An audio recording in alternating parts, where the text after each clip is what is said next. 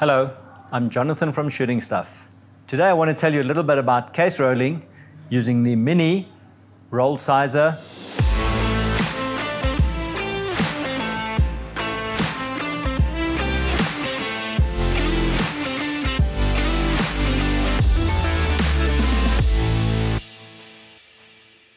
The purpose of rolling your cases is to remove the bulge that builds up just above the extractor groove on any caliber of cases.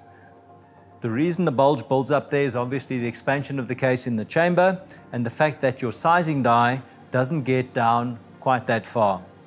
The shell holder or shell plate prevents the die from actually getting to the very bottom and the roll sizer is designed to resize the three to five millimeters above the extractor groove. Whether you've deprimed your cases on the universal decapper or still have the primer in, they work well enough in this system. The manual roll sizer feeds the cases one at a time, rolling one at a time through the system.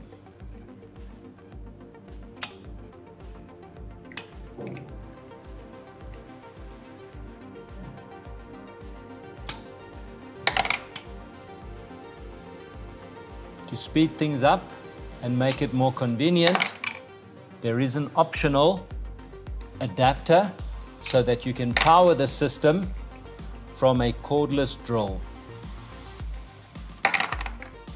To remove the handle is simple. We loosen this bolt, the handle comes out. The adapter is a quarter inch to five millimeter Quarter inch goes into any of the normal cordless screwdrivers or cordless drills, and the 5 millimeter side goes into the M5 bolt already installed in the drive shaft.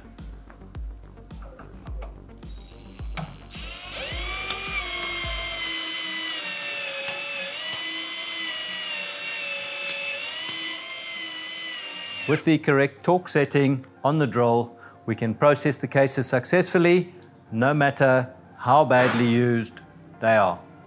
If your system is permanently installed and you're not using it, you can easily tuck the handle away to prevent it being knocked and bumped.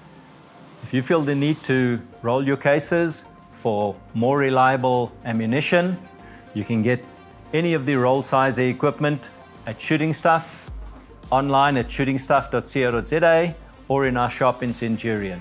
Shooting Stuff is giving you more time to shoot.